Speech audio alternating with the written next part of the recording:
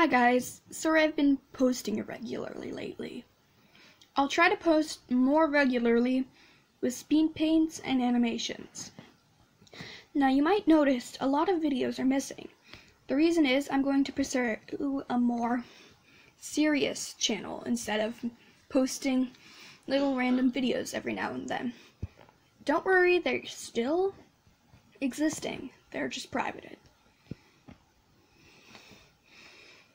Anyway, uh, I'm going to be posting fan things of Danganronpa, Sally Face, My Hero Academia, and the band Gorillaz. I'm also going to be posting stuff with original characters. Now you might see that there are pictures flashing on screen. Those are pictures that I've made myself.